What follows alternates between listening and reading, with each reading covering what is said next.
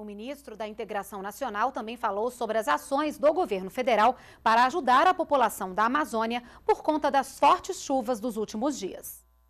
Estamos começando a liberar os primeiros recursos para assistência à população e assim que necessário, assim que definido é, pelo governo do estado, nossos técnicos serão é, removidos, relocados para fazer o acompanhamento em loco e o governo federal, por orientação da presidenta Dilma, irá dar todo o apoio necessário do ponto de vista material, com cestas básicas, com recursos financeiros, com apoio logístico, para que a população do Amazonas possa enfrentar é, com menos dificuldade todos esses transtornos que serão ocasionados em função das cheias.